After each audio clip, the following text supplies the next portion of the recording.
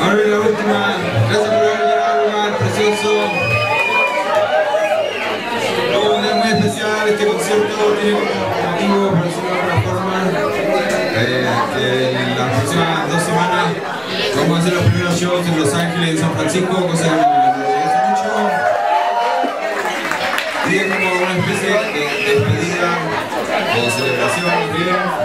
Y quiero reiterar mi agradecimiento a la gente que vino hoy, a los amigos que trajeron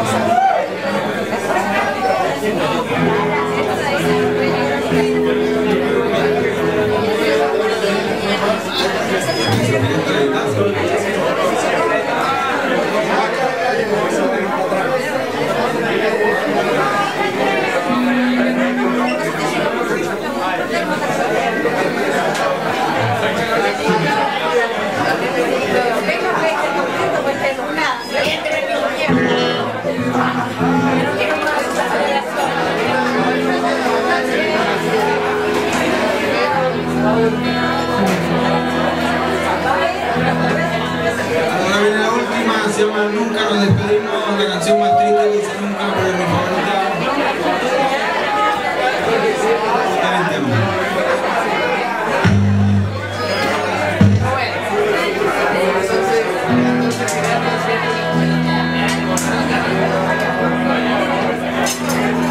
La última dedicando a ustedes